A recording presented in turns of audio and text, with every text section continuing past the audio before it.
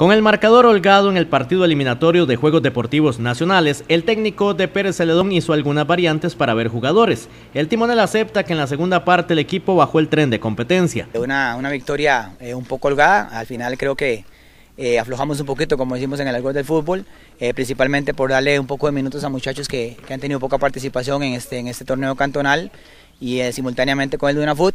Entonces, este, bueno, aprovechamos la segunda parte para, darle minutos a esos muchachos.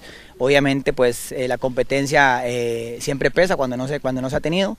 Pero bueno, importante era, como decís vos, este, sacar los tres puntos para esperar ahora eh, eh, jugar la final del sur. Ahora Pérez Celedón se enfrentará a corredores para determinar el equipo clasificado a los Juegos Deportivos Nacionales en la final de la zona sur del país, un rival casi desconocido por su poca participación. Y tengo entendido que es corredores, no lo tengo muy claro, pero parece que sí, por ahí anda. Eh, prácticamente que no sabemos nada, en realidad es muy difícil porque en estas categorías los equipos eh, normalmente se arman con, con, muy pocos días de, de anticipación a las, a las eliminatorias y bueno, prácticamente con Corredores no tuvimos nada, no tenemos nada porque Corredores prácticamente que no jugó la serie, jugó una serie contra Golfito dos partidos.